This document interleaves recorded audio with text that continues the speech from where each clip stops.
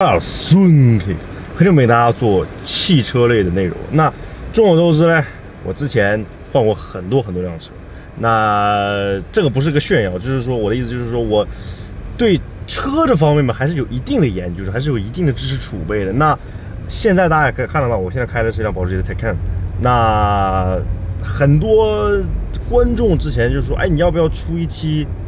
使用之后的一个测评，因为之前我做过一个刚提车之后，刚提车的时候的一个 vlog，就等于说是，呃，大概讲一下当时的功能。大家更想知道是我使用了这辆车已经买了两年多了吧，两年半，两年半之后这个使用体验是怎么样？这辆车到底值不值得买？尤尤其是在北美这边，因为我感觉北美的这个保保时捷就是包括它的基础建设跟国内也不太一样，所以今天呢，也是以这个今天一个 vlog 的形式跟大家讲一下这辆车。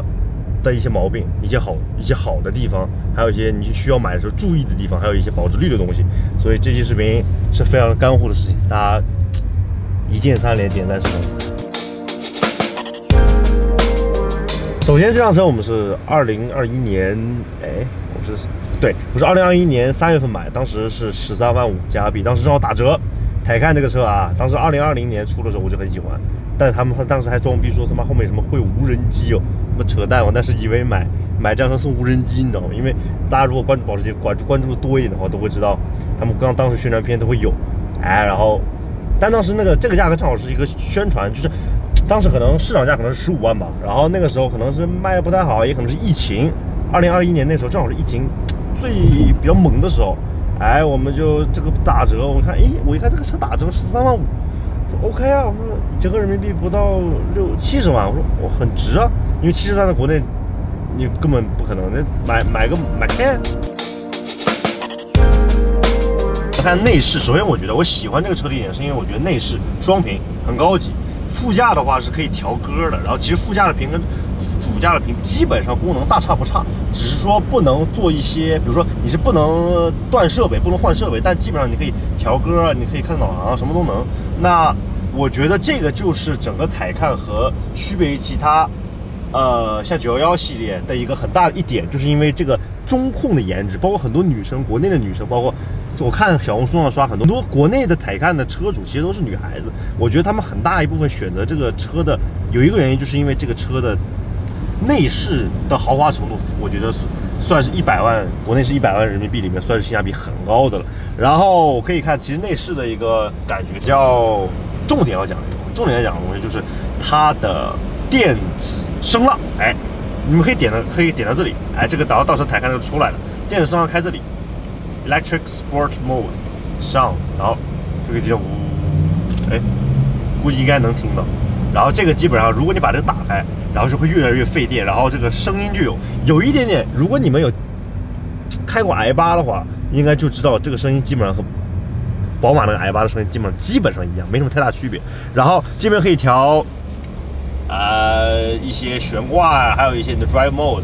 Drive Mode 就是基本上，你像我一般省油的点 Range，然后一般有时候想踩一下，但我我开车一般都是非常的文明，所以我一般不会点 Sport。但今天开这边点 Sport 了，然后所以基本点 Sport，Sport 之后，你看就呜，就加速真可以。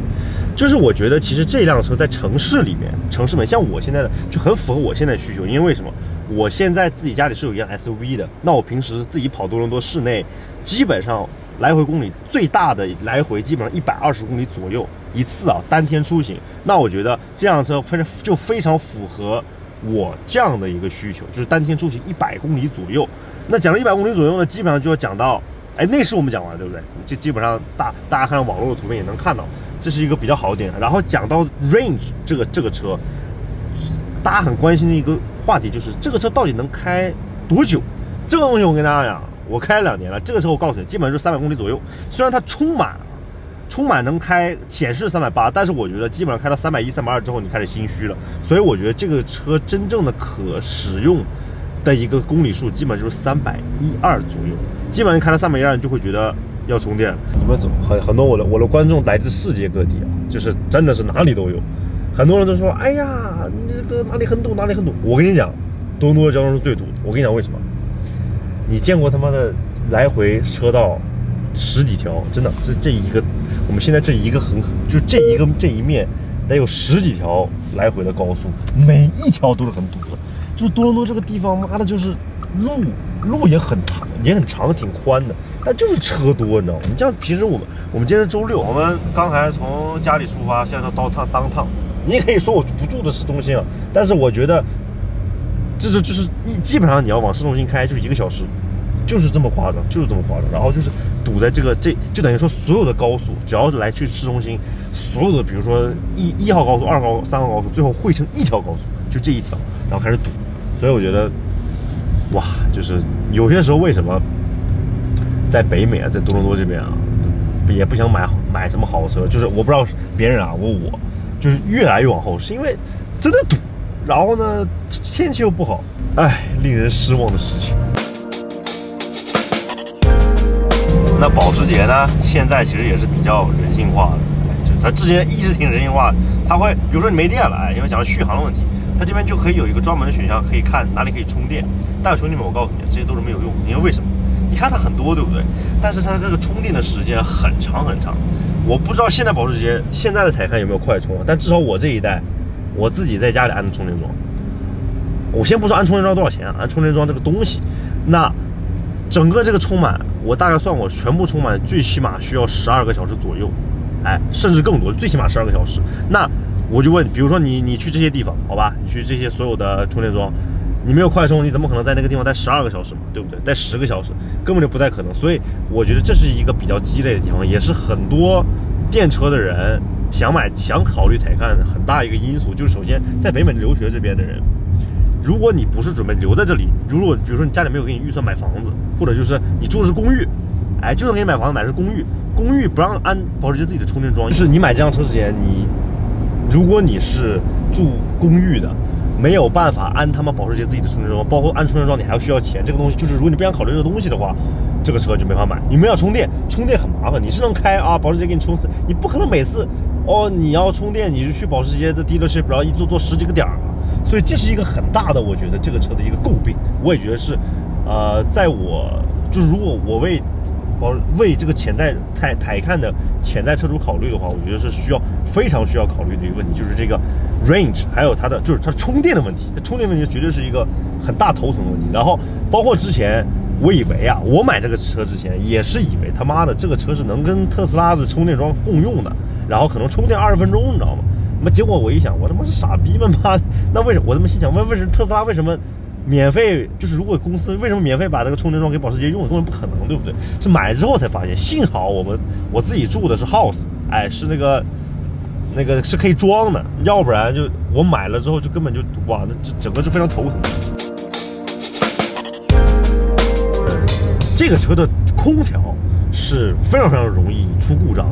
包括你们可以搜啊，任何做台看的车评，真正的开过一段时间，而不是说这辆车啊拿着那边哦，这个多少百公里加速，没有人要看那个东西，最最要看的是使用体验。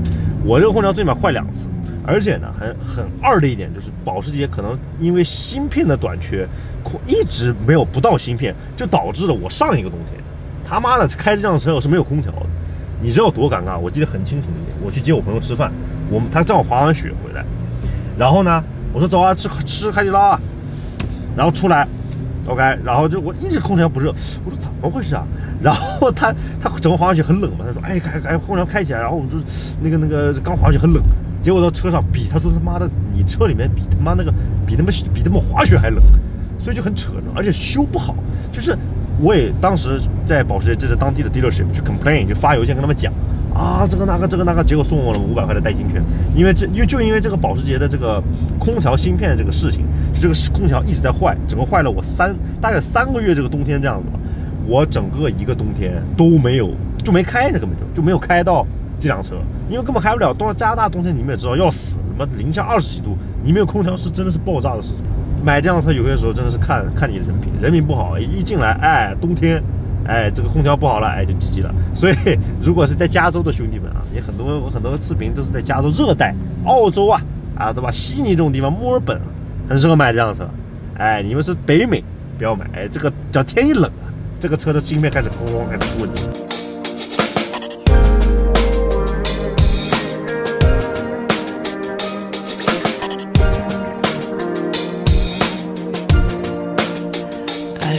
Your love from the start.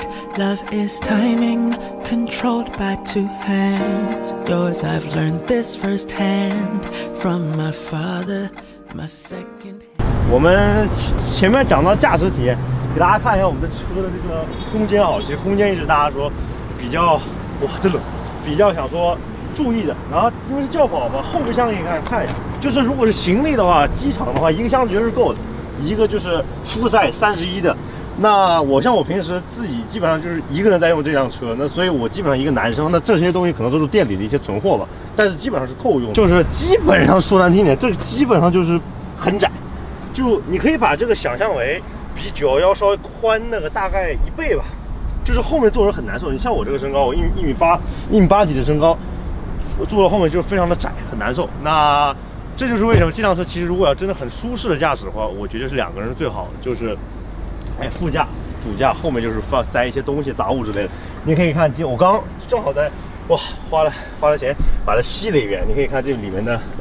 看里面的这个内饰的感觉，就是这吸完之后，其实这个感觉还是挺帅的，是吧？就是我觉得这辆车的颜值啊，你看这么看，这个颜值是还是非常不错的，这么看，对吧？然后包括它这个是吧？女孩子是吧？拍拍照必备这个包就标在这儿，所以这整体来说颜值是不错的。然后空间，空间的话就是一个，还有一个要给大家讲，就是它的前盖箱，其实我觉得一个它有一个非常非常有一个非常非常好的点，就是它的前盖箱啊。我们有些时候，你像我。购物的话，shopping bag 都可以放在这前盖箱里。你看，我里面放两双鞋，所以基本上你买双鞋、买个包，它不是超大 size 的购物袋，其实都是可以塞进去的。然后差不这个，所以我觉得它有一个非常好的点，就是它储物空间是非常够的，前盖箱、后盖箱，然后差不多就是没什么。然后是升降盘、升降盘升降都是有的，因为我这个车配的当时就不是说特配的特别顶配嘛，但是我觉得啊。整体的舒适性来说的话，我觉得它就是一个两门的轿跑。就是冬天，它跟不知道你们有没有有没有车主，就是那个观众有没有人开过，比如说迈凯伦、兰博基尼这些，他们这种车啊，一到冬天它的 sensor 就会。就像我的，有些时候我的轮胎的 sensor 它就会，嗯，有时不时的会跳票，那你就得拿到保时捷去让它去用它的电脑去刷一，它这个就经常会出现。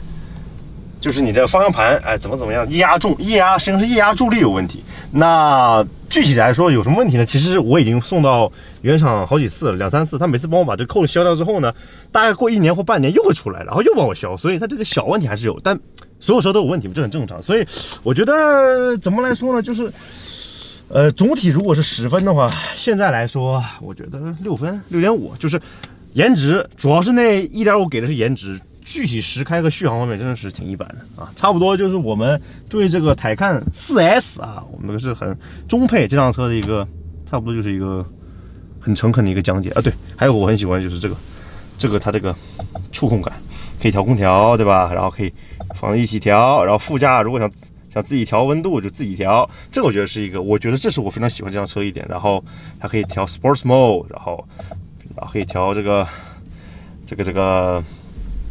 摄像头，然后前后的，就是它停车啊，所以为什么这个车非常适合女生开？因为它这个我，如果开这辆车你停车还能蹭马路牙的话，你看有几个摄像头，一二三四五六七八个摄像头，你这八个摄像头还不够你，还能蹭路牙的话，那真的就是算了吧。所以你们觉得这个台干啊怎么样？看这视频，你们想买吗？这是可以说是多伦多这边比较正宗的一家，很像国内汉堡店味道的一家。炸鸡店叫轰炸鸡 Super Chicken，我们北约客店。我们今天点了两份汉堡啊，三个汉堡，一个大桶。哇，这个真的是很哇塞！来，首先看一下这个桶，我们这一共多少钱？这一共是八十八块，八十八加币。然后来，先吃一个，嗯，古茶饮料，嗯，喝什么？乌龙茶，乌龙茶。嗯。鸡翅，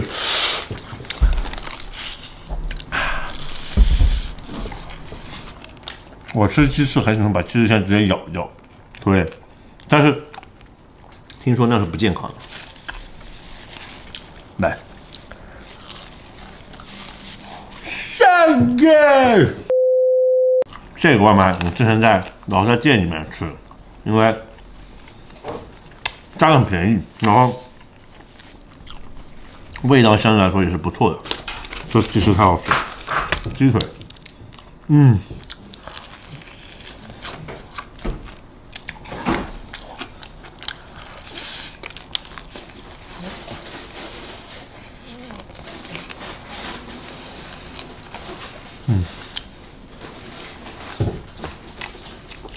上上上哎！这个新昨天新买的，叫好乌龙果茶，卡路里蛮低的，我觉得蛮好喝。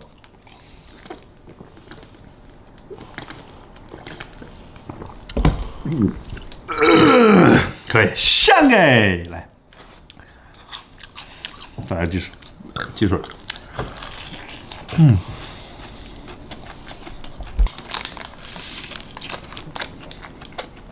而且我吃东西有个习惯，我吃鸡腿这种东西，我把前后都咬光，就我不想有任何东西剩。然后，我记得之前跟我之前女朋友，她吃饭就是吃东西，她一定会剩这东西，然后就每次都很很不爽，我就把它拿掉我自己来吃。嗯，嫩啊！板烧鸡腿堡，这个你可能在国内不懂，但是在国外。百安之宝真的是特别特别难吃到一个我非常想念的东西，哎，嗯，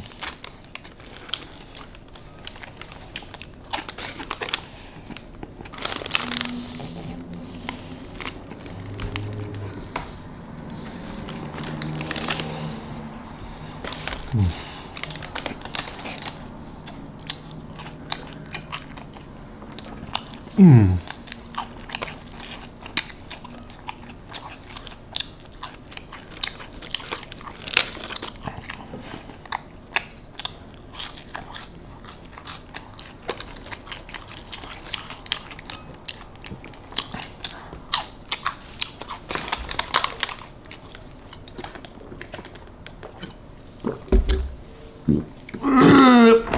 哦，来。